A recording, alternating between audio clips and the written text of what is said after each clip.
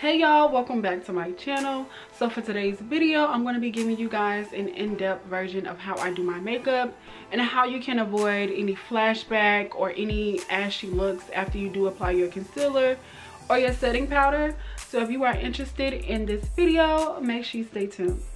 Before this video i did say that i was going to go in depth on how you can avoid any flashback from your concealer or the setting powder that you decide to use whether it's white or yellow um so let's go ahead and get started. Right now i'm taking my born this way concealer from Too Faced in the shade Spiced Rum.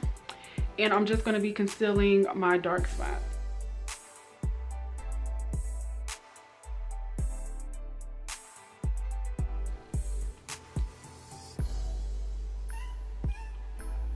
So now I am blending out that concealer and then afterwards I'm going to go ahead and apply my foundation.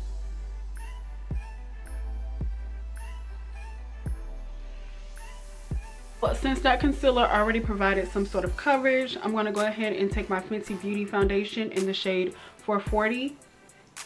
And I'm going to be using this to finish off the base.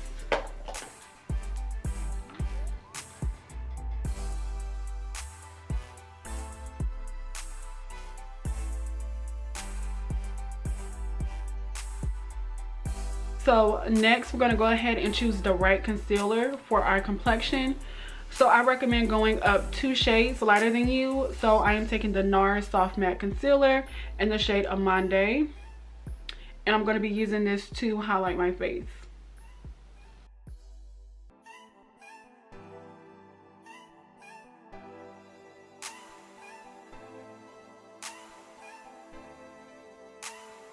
what I like to do after I apply my concealer, I like to take this brush from e.l.f. and I like to blend out the edges. So once I blend out the edges, I'm going to allow the rest of the product, specifically under my eye, um, to sit. And then I'm going to go ahead and apply my contour. And I feel like this just makes it easier to blend and then also the reason why I am allowing this product to sit is because I want to build the coverage. Even though I may go in and apply more concealer underneath my eyes. For contour, I am taking the Fenty Beauty Match Stix in the shade Espresso. And of course, I'm going to be going ahead and applying it in the normal places where you would contour. So that is your cheek, your forehead. I like to bring it up. Your jawline, your chin. And then we can do our nose contour now. So to blend out your contour, you're gonna go ahead and blend the contour on your cheeks up into the concealer. Like so. And then you can also take it around your edges. I was trying to figure out what should I call that but yeah take it around your edges. And you're gonna keep blending up for your jawline. You want to go around it so that it blends into your neck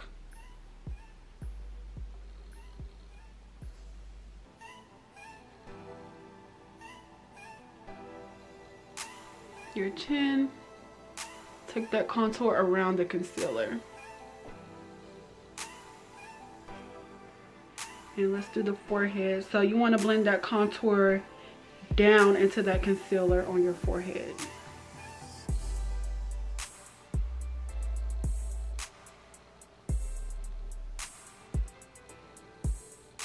And of course, for our cheeks, blend up into that concealer like we did on the other side. Before we blend out the nose contour, let's go ahead and finish blending out the concealer underneath our eye. So I went back in with that brush from e.l.f. and I'm literally just patting in that product, pressing it into my skin. And I like to make sure I go down my nostril on one end.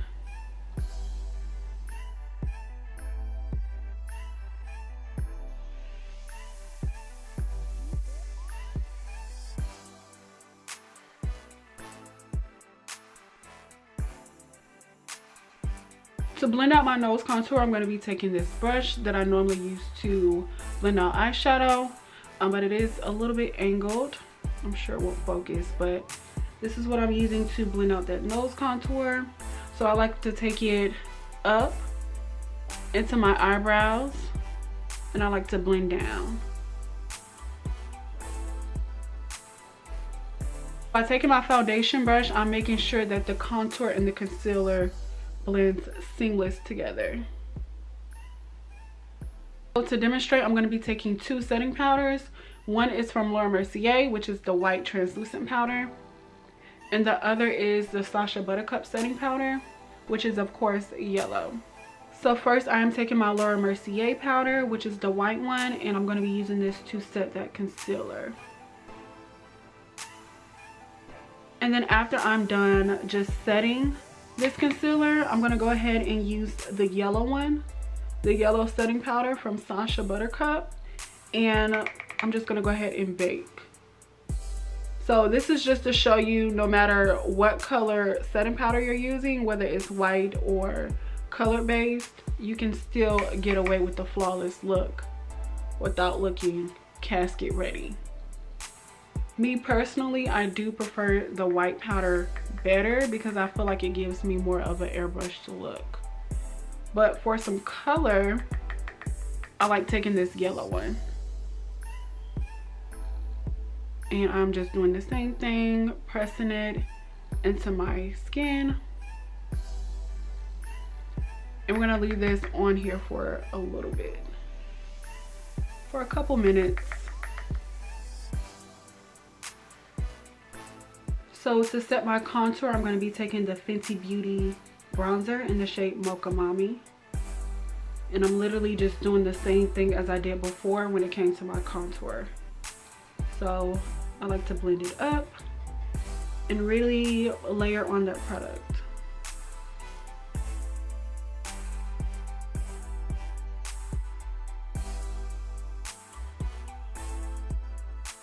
I'm gonna go ahead and set my nose contour as well. We allowed that powder to sit long enough, so we're gonna go ahead and brush it away. Kind of like sweep it.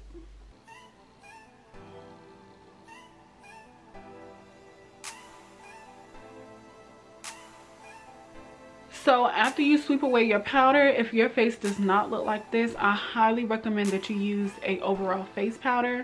So I'm going to go in with my MAC Mineralized Skin Finish Powder in the shade Dark Deepest. And it looks like this.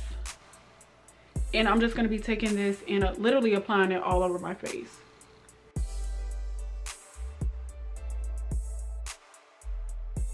All right y'all. So as far as that being your base on how you can avoid the ashy look um, this pretty much completes that part of my video but i am going to go ahead and finish off the rest of my look and come back to you guys with the finished product